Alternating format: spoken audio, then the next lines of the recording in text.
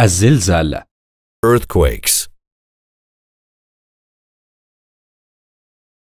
هيا يا فاطمة. هل انتهيت من حفظ سورة الزلزلة؟ نعم يا سالم.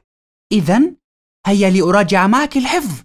حسنا ولكن قبل أن أتلو عليك السورة أريد أن أسألك عن شيء. تفضلي يا فاطمة. في الآية الأولى من السورة يخبرنا الله سبحانه وتعالى عن الزلازل. فيقول بسم الله الرحمن الرحيم. إذا زلزلت الأرض زلزالها فما هي الزلازل؟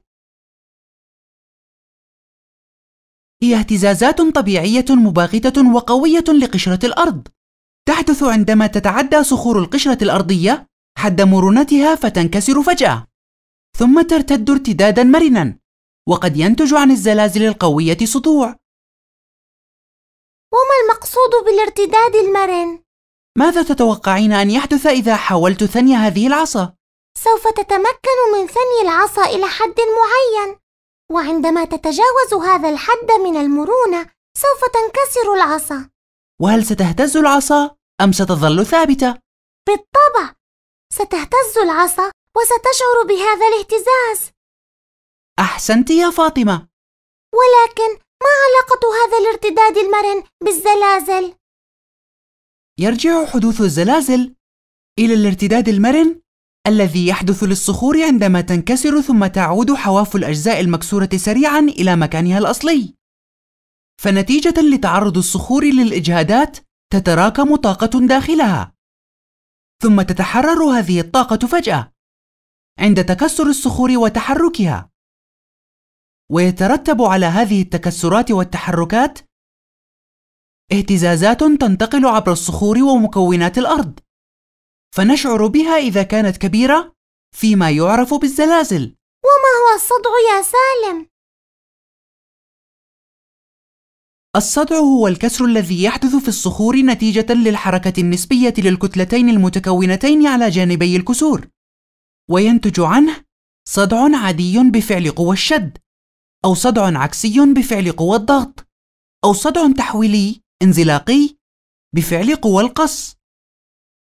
وما العلاقة بين الزلازل وأنواع الصدوع؟ الزلازل القوية يصاحبها قوى شد أو قوى ضغط أو قوى قص بالغة القوة تتسبب في حدوث الصدوع. فيحدث الصدع العادي عندما تسحب الصخور من الجانبين تحت تأثير قوى الشد. ويتميز هذا النوع من الصدوع بتحرك الصخور فوق مستوى الصدع المائل إلى أسفل نسبة إلى الصخور التي تقع أسفل الصدع. وماذا عن الصدع العكسي؟ الصدع العكسي. يحدث الصدع العكسي بسبب قوى الضغط المؤثرة على جانبي مستوى الصدع. ويتميز الصدع العكسي بتحرك الصخور التي تقع فوق مستوى الصدع المائل إلى الأعلى. نسبة إلى الصخور التي تقع أسفل منه. وكيف تحدث الصدوع الانزلاقية؟ الصدع الانزلاقي.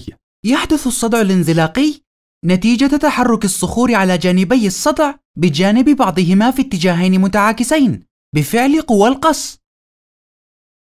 شكرا لك يا سالم على ما قدمته لي من معلومات. الآن سوف أتلو عليك سورة الزلزلة.